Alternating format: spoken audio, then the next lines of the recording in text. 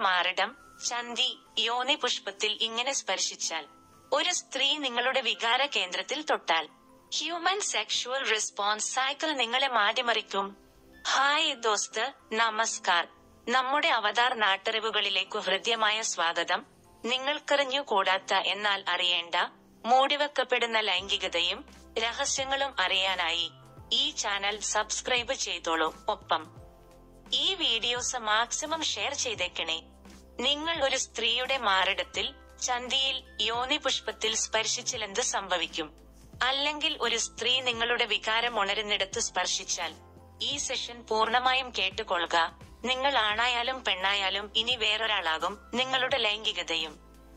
ജീവിതത്തിൽ ഒരിക്കൽ പോലും കേട്ടിട്ടില്ലാത്ത അറിഞ്ഞിട്ടില്ലാത്ത കാര്യങ്ങളാണ് ഇനി പറയുന്നത്. യോനി പുഷ്പത്തിലെ മനോഹാരിത തൊട്ടറിയുക തന്നെ വേണം. ഏറ്റവും കൂടുതൽ ആളുകൾക്ക് ശരിയായ ചികിത്സ ലഭിക്കാത്തതും അതുപോലെ പലവിധത്തിലുള്ള തട്ടിപ്പു ചികിത്സകൾക്ക് ഇരയാവുന്നതും ലൈംഗിക രോഗാവസ്ഥകൾ ഉണ്ടാകുമ്പോഴാണ്. പല പത്രങ്ങളിലെയും ക്ലാസിഫൈഡ്സ് പേജുകളിൽ ഇന്നും പലതരത്തിലുള്ള ലൈംഗിക രോഗങ്ങൾക്കുള്ള പൊടികളുടെയും എണ്ണയുടെയും പരസ്യങ്ങൾ കാണാം. പലരും ഈ അശാസ്ത്രീയ ചികിത്സകൾ പരീക്ഷിച്ചു നോക്കുകയും കൂടുതൽ പ്രശ്നങ്ങളിൽ എത്തുകയും ചെയ്യാറുണ്ട്. മനുഷ്യന്റെ സ്വാഭാവിക ലൈംഗികതയെക്കുറിച്ചും ലൈംഗിക രോഗങ്ങളെക്കുറിച്ചും ശരിയ അറിവില്ലാത്തതും ലൈംഗിക രോഗാവസ്ഥകളെക്കുറിച്ചുള്ള തെറ്റിദ്ധാരണകളും ഈ രോഗാവസ്ഥകളുള്ളവർ നേരിടുന്ന വേർതിരിവുകളും കളിയാക്കലും ഒക്കെയാണ് ഈ പ്രശ്നത്തെക്കുറിച്ച് തുറന്നു പറയാനുള്ള മടിക്കും. അതുവഴി ശരിയായ പരിചരണം കിട്ടാതെ വരുന്നതിനും കാരണം. ഈ രോഗാവസ്ഥകൾക്ക് കൃത്യമായ സഹായം ലഭിക്കാത്തത് മൂലം വ്യക്തി ജീവിതത്തെയും ലൈംഗിക ജീവിതത്തെയും വ്യക്തിബന്ധങ്ങളെയും മാനസിക ആരോഗ്യത്തെയും ബാധിച്ച വ്യക്തികൾ നമ്മൾക്ക് ഇടയിലുണ്ട് ലൈംഗികത എന്നത് ഇന്നും നമ്മൾ പരസ്പരം തുറന്ന് സംസാരിക്കാൻ ഇഷ്ടപ്പെടാത്ത ഒരു വിഷയമാണ്. മനുഷ്യ ലൈംഗികതയെക്കുറിച്ച് ശരിയായ അറിവ് ലഭിക്കുന്നതിലൂടെ മാത്രമേ ഈ അവസ്ഥകളെ തിരിച്ചറിയാനും അതിന് സഹായം തേടാനും ആളുകൾക്ക് കഴിയൂ. ഇതിനായി കുട്ടികളായിരിക്കുന്ന സമയം തൊട്ട് ശാസ്ത്രീയമായ സമഗ്രമായ ലൈംഗിക വിദ്യാഭ്യാസം നൽകേണ്ടതുണ്ട്. മനുഷ്യരിൽ ലൈംഗിക പ്രവൃത്തികളുടെ സമയത്തുണ്ടാകുന്ന ശാരീരിക മാനസിക മാറ്റങ്ങളെ കുറിച്ചാണ് ഇനി പറയുന്നത്. ലൈംഗിക പ്രക്രിയകൾ നടക്കുന്ന സമയത്ത് നമ്മുടെ മാനസിക നിലയിലും ശരീരത്തിലും നിരവധി മാറ്റങ്ങൾ ഉണ്ടാകുന്നത് നിങ്ങൾക്കും അറിയാമല്ലോ. സ്ത്രീകളിലും പുരുഷന്മാരിലും ഈ മാറ്റങ്ങൾ വ്യത്യസ്തമായിരിക്കും. ഒരേ വ്യക്തിയിൽ തന്നെ വിവിധ സാഹചര്യങ്ങളിൽ ഇതിൽ വ്യത്യാസമുണ്ടാകാം. ഇത്തരത്തിൽ ലൈംഗിക പ്രവൃത്തികളുടെ സമയത്ത് നമ്മുടെ ശരീരത്തിലും അതുപോലെ മാനസിക നിലയിലും ഉണ്ടാകുന്ന മാറ്റങ്ങളെ മനുഷ്യ ലൈംഗിക പ്രതികരണ ചക്രം ഹ്യൂമൻ സെക്ഷുവൽ റെസ്പോൺസ് സൈക്കിൾ എന്നാണ് പറയുക. ഈ മാറ്റങ്ങളും അവയുടെ പ്രത്യേകതകളും എന്തൊക്കെയാണെന്ന് നമ്മൾക്ക് നോക്കാം. E P O R model മനുഷ്യനിലെ ലൈംഗിക പ്രവൃത്തിയുടെ സമയത്ത് ഉണ്ടാകുന്ന മാറ്റങ്ങളെ ആദ്യമായി വിശദമായി പഠിക്കുകയും അതിനെ ഓരോ ഘട്ടമായി തരം തിരിക്കുകയും ചെയ്തത് വില്യം മാസ്റ്റേഴ്സ് വിർജീനിയ ജോൺസൺ എന്നീ രണ്ട് സെക്സോളജിസ്റ്റുകളാണ്. ഏകദേശം പതിനൊന്ന് വർഷത്തോളം മുന്നൂറിൽ അധികം സ്ത്രീകളുടെയും പുരുഷന്മാരുടെയും ഏകദേശം പതിനായിരത്തോളം ലൈംഗിക പ്രവർത്തികൾ നിരീക്ഷിച്ചും വിശകലനം ചെയ്തുമാണ് അവർ ഇത്തരം ഒരു മാതൃക നിർദ്ദേശിച്ചത്. ഒന്നിന് പിറകെ മറ്റൊന്നായി ഉണ്ടാകുന്ന നാല് ഘട്ടങ്ങളാണ് ഇവരുടെ മോഡലിൽ ഇ മോഡൽ ഉള്ളത്. ഇവ ഏതൊക്കെയാണെന്ന് നമ്മൾക്കൊന്ന് നോക്കാം. എക്സൈറ്റ്മെന്റ് അറൌസൽ ഫേസ് ഈ ഫേസ് ഉത്തേജന ഘട്ടം. ഇതാണ് മാറ്റങ്ങളുടെ ആദ്യ ഘട്ടം. ഈ ഘട്ടം ഏതാനും മിനിറ്റുകൾ മുതൽ മണിക്കൂർ വരെ നീണ്ടു നിൽക്കാം.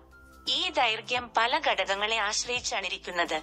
രണ്ട് രീതിയിൽ നമ്മൾക്ക് ലൈംഗിക ഉത്തേജനവും തുടർന്നുള്ള മാറ്റങ്ങളും ഉണ്ടാകാം. പുറമെ നിന്നുള്ള പ്രേരകങ്ങൾ കൊണ്ട് എക്സ്റ്റേണൽ റീഫ്ലെക്സ് സ്റ്റിമ്യുലായി സ്പർശനം കാഴ്ച ശബ്ദങ്ങൾ തുടങ്ങിയ സംവേദങ്ങൾ വഴി നമ്മൾക്ക് ലൈംഗിക ഉത്തേജനം ഉണ്ടാവുകയും തുടർന്നുള്ള മാറ്റങ്ങൾ വരികയും ചെയ്യാം. പുറമേ നിന്നുള്ള സംവേദങ്ങൾ നാടികൾ വഴി തലച്ചോറിലെ ലൈംഗിക പ്രക്രിയകളെ നിയന്ത്രിക്കുന്ന ഭാഗങ്ങളെ ഉദ്ദീപിപ്പിക്കുകയും അവിടെ നിന്നും ലൈംഗിക അവയവങ്ങളിലേക്ക് നിർദ്ദേശങ്ങൾ എത്തുകയും ചെയ്യുമ്പോഴാണ് ഈ മാറ്റങ്ങൾ തുടങ്ങുക. മനസ്സിലുണ്ടാക്കുന്ന പ്രേരകങ്ങൾ കൊണ്ട് സൈക്കോജെനിക് സ്റ്റിമ്യുലായി പുറമേ നിന്നുള്ള ഉദ്ദീപനമില്ലെങ്കിലും ലൈംഗിക കാര്യങ്ങളെക്കുറിച്ച് നമ്മുടെ മനസ്സിലുണ്ടാകുന്ന ഓർമ്മകൾ ചിന്തകൾ ഇവക്കും ഈ മാറ്റങ്ങൾക്ക് തുടക്കമിടാൻ പറ്റും. ഈ രീതി ഉള്ളതുകൊണ്ടാണ് സുഷുമ്ന നാടിക്ക് പരിക്കേറ്റവരിൽ പോലും ലൈംഗിക ഉത്തേജനം ചിലപ്പോൾ സാധ്യമാകുന്നത്. എന്തൊക്കെ മാറ്റങ്ങളാണ് ഈ ഫേസിൽ ഉണ്ടാകുന്നതെന്ന് നോക്കാം സ്ത്രീകളിൽ ലൈംഗിക ഉത്തേജനവും. അതോടു അനുബന്ധിച്ചുണ്ടാകുന്ന വൈകാരിക മാറ്റങ്ങളും ഉണ്ടാവുകയും ശക്തി കൂടി വരികയും ചെയ്യും. ഹൃദയമിടിപ്പ് ശ്വാസഗതി ഇവ വേഗത്തിലാകും. രക്തസമ്മർദ്ദം ഉയരും ഇതോടൊപ്പം തൊലിപ്പുറത്തുള്ള മാറ്റങ്ങൾ ഉണ്ടാവുകയും സ്തനങ്ങളുടെ വലുപ്പം കൂടുകയും നിപ്പിളുകൾ ഉദ്ദീപിക്കപ്പെടുകയും കട്ടിയാവുകയും ചെയ്യും. യോനിയിലേക്കുള്ള രക്തയോട്ടം കൂടുകയും പർപ്പിൽ നിറമാവുകയും യോനിയുടെ നീളം കൂടുകയും സ്രവങ്ങൾ ഉണ്ടാവുകയും ചെയ്യും. ഗർഭാശയം മുകളിലേക്ക് ഉയരുകയും വലിഞ്ഞു മുറുകുന്നത് പോലെ അനുഭവപ്പെടുകയും ചെയ്യാം. ഇതോടൊപ്പം സ്ത്രീകളുടെ ലേബിയ ഭാഗത്തും രക്തയോട്ടം കൂടുകയും കട്ടിയാവുകയും ചെയ്യും. ക്രസരിയുടെ വലുപ്പം കൂടുകയും സംവേദനക്ഷമത വർദ്ധിക്കുകയും ചെയ്യാം. ശരീരത്തിലെ മസിലുകൾ വലിഞ്ഞു മുറുകുന്നതും സ്വാഭാവികമാണ്. പുരുഷന്മാരിൽ ഹൃദയമിടിപ്പ് ശ്വാസഗതി ഇവ വേഗത്തിലാകും. രക്തസമ്മർദ്ദം ഉയരും. ലിംഗോദ്ധാരണമുണ്ടാവുകയും അതിന്റെ ബലവും നീളവും കൂടുകയും ചെയ്യും. ഈ ഘട്ടത്തിൽ ചിലരിൽ പലതവണ ലിംഗം ഉദ്ദീപിക്കപ്പെടുകയും വീണ്ടും ചെറുതാവുകയും ചെയ്യാം. ലിംഗത്തിൽ നിന്ന് ചിലപ്പോൾ ചില സ്രവങ്ങൾ ഉണ്ടാകാം. വൃഷണവും വൃഷണ സഞ്ചിയും മുകളിലേക്ക് ഉയരും വലുപ്പം കൂടും. മസിലുകൾ വലിഞ്ഞു മുറുകാം സ്തനങ്ങളും നിപ്പിളും ഉദ്ദീപിക്കപ്പെടും. ഈ ഘട്ടത്തിൽ നമ്മുടെ ലൈംഗിക അവയവങ്ങളിലേക്കുള്ള സിമ്പതറ്റിക് നാഡീവ്യൂഹത്തിന്റെ പ്രവർത്തനം കുറയുകയും പാരസിമ്പതറ്റിക് നാഡികളുടെ പ്രവർത്തനം കൂടുകയും ചെയ്യും. അതുവഴി ലിംഗത്തിലേക്കും അതുപോലെ ക്രിസരി യോനി തുടങ്ങിയ ഭാഗങ്ങളിലേക്കുള്ള രക്തയോട്ടം കൂടും. ഉദ്ധാരണം സംഭവിക്കാനുള്ള കാരണം ഈ മാറ്റങ്ങളാണ്. ഈ മാറ്റങ്ങളുടെ പ്രധാന നിയന്ത്രണം നമ്മുടെ തലച്ചോറിനാണ്. ലൈംഗിക പ്രക്രിയയിൽ തലച്ചോറിനുള്ള പ്രാധാന്യം കണക്കിലെടുത്താണ് മനുഷ്യരിലെ ഏറ്റവും പ്രധാന ലൈംഗിക അവയവം നമ്മുടെ തലച്ചോറാണെന്ന് പറയുന്നത്. Plateau phase P phase plateau ഘട്ടം. ഉത്തേജന ഘട്ടത്തിന്റെ ഏറ്റവും അവസാന സമയത്ത് നമ്മുടെ ശാരീരിക മാനസിക മാറ്റങ്ങൾ ഏറ്റവും കൂടി നിൽക്കുന്ന അവസ്ഥയെയാണ് പ്ലാറ്റോ ഘട്ടം എന്ന് പറയുക. മുൻപ് വിവരിച്ച മാറ്റങ്ങൾ ഏറ്റവും മൂർധന്യാവസ്ഥയിലായിരിക്കും ഈ ഘട്ടത്തിൽ. നമ്മൾ അറിയാതെ തന്നെ പല ശബ്ദങ്ങൾ ഉണ്ടാക്കുന്നതും ഈ ഘട്ടത്തിലാണ്. പങ്കാളികൾ തമ്മിലുള്ള പെനട്രേറ്റീവ് സെക്സ് ഏറ്റവും കൂടുതലായി നടക്കുന്നതും ഈ സമയത്താണ്. ഈ ഘട്ടത്തെ പ്രത്യേകമായി നിർവചിക്കാൻ ബുദ്ധിമുട്ടായതുകൊണ്ട് തന്നെ ഉത്തേജന ഘട്ടത്തിന്റെ ഏറ്റവും അവസാന ഭാഗമെന്ന നിലയിലാണ് നിലവിൽ ഇതിനെ കരുതുക. ഓഗാസം ഓ ഫേസ് രതിമൂർച്ച ഘട്ടം. പ്ലാറ്റോ ഘട്ടം അവസാനിക്കുന്നത് രതിമൂർച്ചയിലൂടെയാണ്. ഏതാനും സെക്കൻഡുകൾ മാത്രമാണ് ഈ ഘട്ടത്തിന്റെ ദൈർഘ്യം. പുരുഷന്മാരിൽ വൃഷ്ണ സഞ്ചിക്കു ചുറ്റുമുള്ള പേശികൾ വലിഞ്ഞു മുറുകുകയും ഒപ്പം ലിംഗത്തിലെ പേശികൾ സങ്കോചിക്കാനും വികസിക്കാനും തുടങ്ങുകയും ചെയ്യും. ലൈംഗിക സുഖവും വൈകാരിക അനുഭവങ്ങളും ഏറ്റവും കൂടിയ അവസ്ഥയിലെത്തും. ഹൃദയമിടിപ്പും രക്തസമ്മർദ്ദവും ഏറ്റവും ഉയർന്ന നിലയിലെത്തും. പുരുഷന്മാരിൽ ഈ ഘട്ടം അഞ്ചു മുതൽ അറുപത് വരെ സെക്കൻഡ് വരെ നീണ്ടു നിൽക്കാം. ലൈംഗിക ഉദ്ദീപനം ഏർപ്പെടുന്ന ലൈംഗിക പ്രവൃത്തി രോഗാവസ്ഥകൾ പ്രായം ഇവയൊക്കെ ഈ സമയം നിർണയിക്കുന്നതിൽ ഘടകങ്ങളാണ്. രണ്ട് പ്രക്രിയയാണ് ഈ ഘട്ടത്തിൽ പുരുഷന്മാരിൽ നടക്കുക. എമിഷൻ ബീജം സൂക്ഷിച്ചിരിക്കുന്ന വാസ ഡഫേറ്റൻസ് സ്രവങ്ങൾ ഉണ്ടാക്കുന്ന സെമിനൽ വെസിക്കിൾ പ്രോസ്റ്റേറ്റ് ഗ്രന്ഥി ഇവയിൽ നിന്നുള്ള സ്രവങ്ങൾ പേശികളുടെ സങ്കോച വികാസത്തിന്റെ ഫലമായി യൂറിത്രയിൽ എത്തുന്നതാണ് എമിഷൻ ഇതേ സമയത്ത് തന്നെ ബീജം ഉൾപ്പെടുന്ന ഈ സീമൻ തിരികെ മൂത്രാശയത്തിൽ കയറാതെ ഇരിക്കാൻ മൂത്രാശയത്തിന്റെ താഴെ ഭാഗത്തുള്ള പേശികൾ ചുരുങ്ങും. എമിഷൻ സംഭവിച്ചു കഴിഞ്ഞാൽ പിന്നെ പുരുഷന്മാർക്ക് സ്ഖലനം നിയന്ത്രിക്കാൻ സാധിക്കില്ല.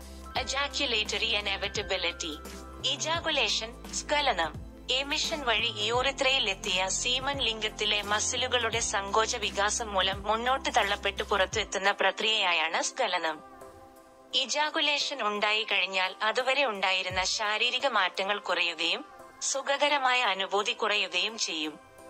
സ്ത്രീകളിൽ രതിമൂർച്ച സമയത്ത് ഗർഭപാത്രവും യോനിയുടെ ഭിത്തിയിലും ലേബിയയിലും ഉള്ള പേശികളും ക്രമമായി സങ്കോചിക്കുകയും വികസിക്കുകയും വൈകാരികമായ മാറ്റങ്ങൾ മൂർധന്യാവസ്ഥയിൽ എത്തുകയും ചെയ്യും. ഹൃദയമിടിപ്പും രക്തസമ്മർദ്ദവും ഏറ്റവും ഉയർന്ന അവസ്ഥയിൽ എത്തുകയും യോനിയിൽ ഉണ്ടാകുന്ന സ്രവങ്ങളുടെ അളവ് കൂടുകയും ചെയ്യും. രതിമൂർച്ച അവസാനിക്കുന്നതോടെ ഈ മാറ്റങ്ങൾ കുറയുകയും വളരെ ശാന്തമായ അവസ്ഥയിൽ എത്തുകയും ചെയ്യും. സ്ത്രീകളും പുരുഷന്മാരിലും രതിമൂർച്ചയിൽ പല വ്യത്യാസങ്ങളുണ്ട്. ഏകദേശം തൊണ്ണൂറ് ശതമാനം പുരുഷന്മാർക്കും സ്വയംഭോഗം വഴിയോ പങ്കാളിയോട് ഒപ്പമുള്ള ലൈംഗിക ബന്ധം വഴിയോ രതിമൂർച്ചയിൽ എത്താൻ സാധിക്കും. എന്നാൽ സ്ത്രീകളിൽ അമ്പത് ശതമാനത്തിൽ താഴെ ആളുകൾക്ക് മാത്രമേ വജൈനൽ സെക്സിലൂടെ രതിമൂർച്ച ഉണ്ടാകുന്നുള്ളൂ എന്ന് പഠനങ്ങളിൽ പറയുന്നു.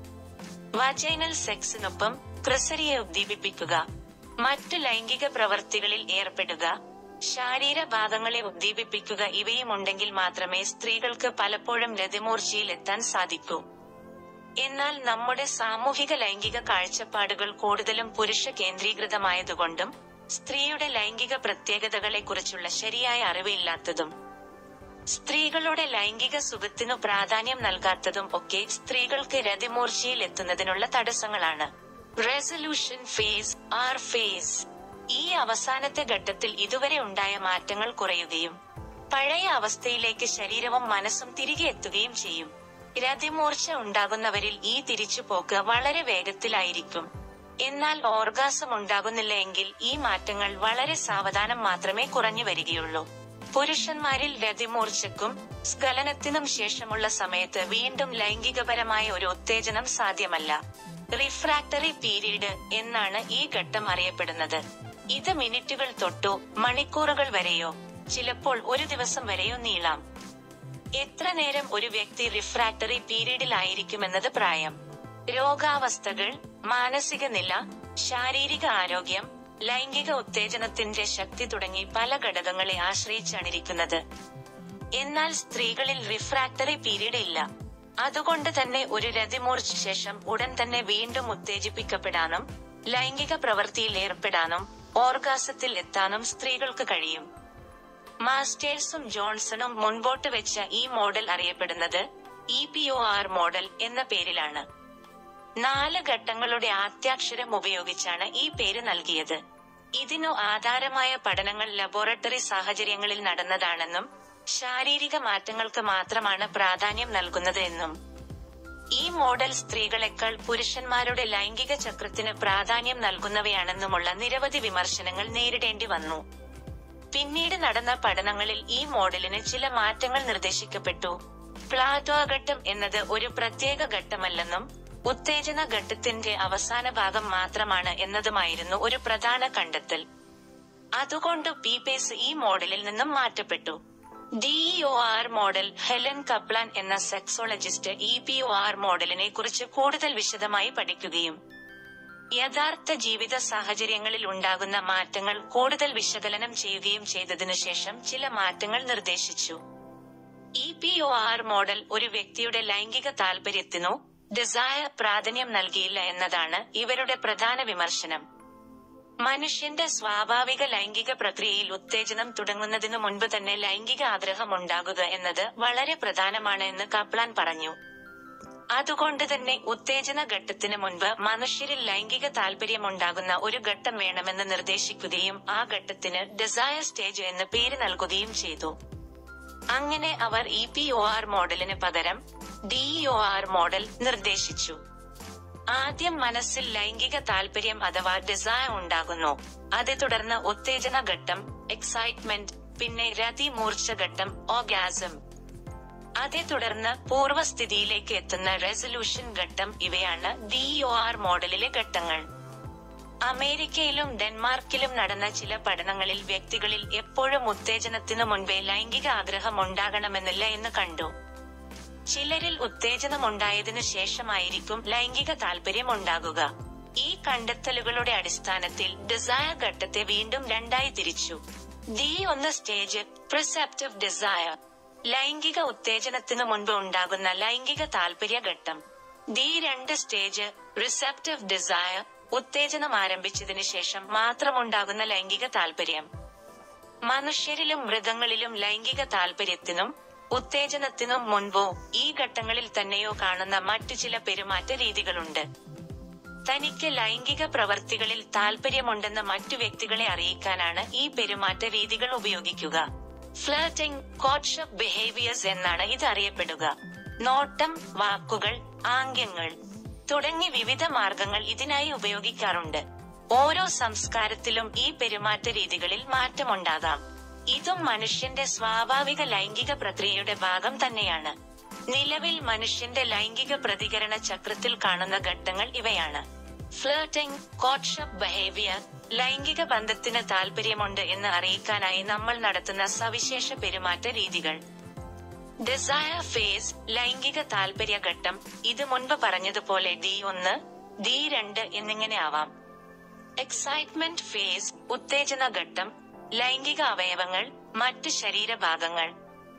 മാനസിക നില ഇവയിൽ കാര്യമായ മാറ്റങ്ങൾ ഈ ഘട്ടത്തിലാണ് ഉണ്ടാകുക.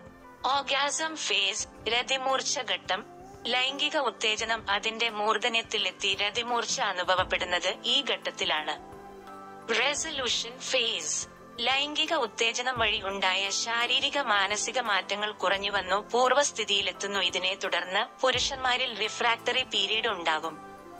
ഈ സമയത്ത് സാധാരണ നിലയിൽ വീണ്ടും ഒരു ലൈംഗിക ഉത്തേജനം പുരുഷന്മാരിൽ സാധ്യമല്ല. മനുഷ്യ ലൈംഗികത എന്നത് വളരെ വിശാലവും സ്വതന്ത്രവുമാണെന്ന് മനസ്സിലാക്കി വേണം നമ്മൾ ഈ ഘട്ടങ്ങളെ നോക്കിക്കാണാൻ. എല്ലാവരിലും ഈ മാറ്റങ്ങൾ ഒരേ രീതിയിലോ ഓരോ തീവ്രതയിലോ ഉണ്ടാകണമെന്നില്ല. മാത്രവുമല്ല ട്രാൻസ്ജെൻഡർ ജെൻഡർ നോൺ കൺഫർമിംഗ് വ്യക്തികൾ നോൺ ഹെട്രോസെക്ഷൽ ഓറിയന്റേഷൻ ഉള്ള വ്യക്തികൾ ഇവരിലെ ലൈംഗിക പ്രതികരണത്തെക്കുറിച്ചുള്ള ശാസ്ത്രീയ പഠനങ്ങൾ കുറവാണ്. അതുകൊണ്ട് തന്നെ ഈ മോഡൽ എല്ലാവർക്കും ഒരുപോലെ ബാധകമാകണമെന്നില്ല. പല ലൈംഗിക രോഗാവസ്ഥകളിലും മുകളിൽ വിവരിച്ച പ്രവർത്തനങ്ങളിലാണ് പ്രശ്നങ്ങൾ ഉണ്ടാവുക. ഉദാഹരണത്തിന് പുരുഷന്മാർ നേരിടുന്ന പ്രധാന ലൈംഗിക പ്രശ്നമാണ് ശീഘ്രസ്ഖലനം അഥവാ പ്രീമച്യോ അജാക്യുലേഷൻ ഈ അവസ്ഥയിൽ ഉത്തേജന ഘട്ടത്തിന്റെ ദൈർഘ്യം നന്നേ കുറവായിരിക്കും. അതുപോലെ ലൈംഗിക ചക്രത്തിന്റെ ആകെ ദൈർഘ്യവും കുറയും. നമ്മുടെ സ്വാഭാവിക ലൈംഗിക പ്രവർത്തനങ്ങളെ കുറിച്ചുള്ള ശരിയായ അറിവ് സമ്പാദിക്കുന്നത് ലൈംഗിക ആരോഗ്യം മെച്ചപ്പെടുത്തുന്നതിനും ലൈംഗിക രോഗങ്ങൾ തിരിച്ചറിയുന്നതിനും തടയുന്നതിനും ലൈംഗിക ജീവിതം കൂടുതൽ ആസ്വാദ്യകരമാക്കുന്നതിനും സഹായിക്കും. അതിന് നമ്മളെ സെക്ഷനിലെ വിവരങ്ങൾക്ക് സാധിക്കുമെന്ന് പ്രതീക്ഷിക്കുന്നു. ശുക്രിയ ഫിർ മിലെങ്കെ ബായ്.